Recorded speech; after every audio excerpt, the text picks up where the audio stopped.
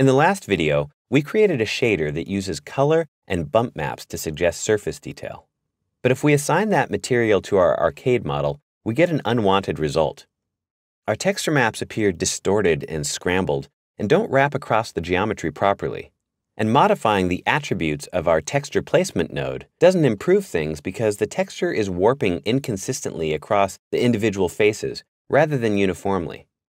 To correct this issue, we need to designate how the faces of our geometry receive texture information.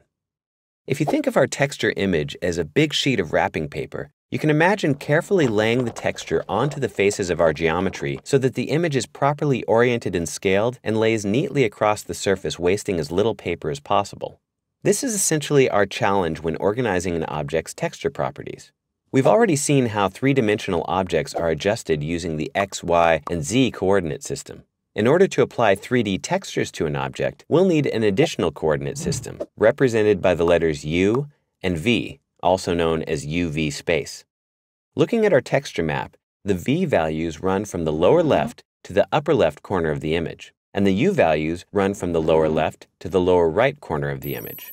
Each vertex of our model holds a UV coordinate value, so once we've assigned proper UV coordinates to all of our vertices, the texture will map correctly. We can see the UV coordinate arrangement for each object by selecting the model, then going to the main menu and choosing Windows UV Editor. With the UV Editor open, we can switch to component mode and select individual faces of the object.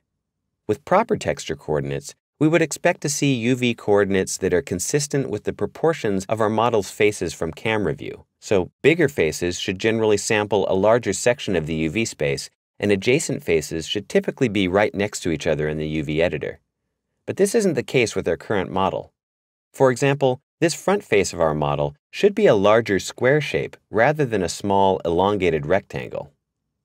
With the mouse over the UV editor, we can right-click to select UV components, then move the UVs by activating the Move tool, W on the keyboard.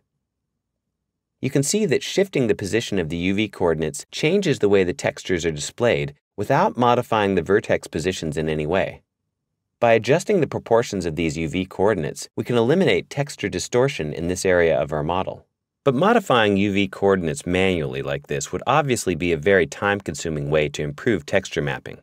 So in the next lesson, we'll look at a couple tools that can be used to arrange a large number of UV coordinates all at the same time.